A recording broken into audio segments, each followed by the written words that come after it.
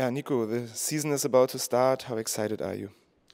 Uh, very excited, to be honest. Really happy about it. Um, this first game of the season always looks so far away, but it's finally here, and I'm so happy.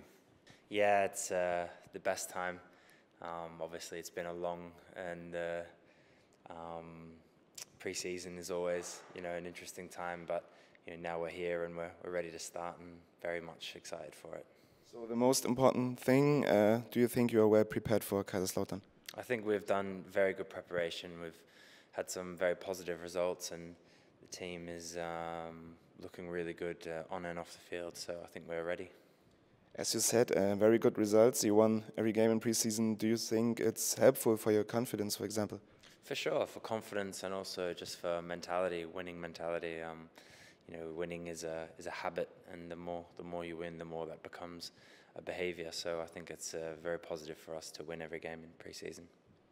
Kaiserslautern is always a tough one. Um, how do you rate their team? Yeah, I think we will be. Um, you know, it's as an away game, it's one of the the best atmospheres, and I think on the opening day at, at home, I know the first uh, 15 minutes will be will be pretty hectic uh, with you know the crowd and and the way that they they play football. So um, you know, very a team. Um, we know they're aggressive. They can play with the ball as well, and we're expecting a very difficult game. But um, you know, I think we are we're well prepared. Yeah, first of all, um, it will be like you said, a good atmosphere.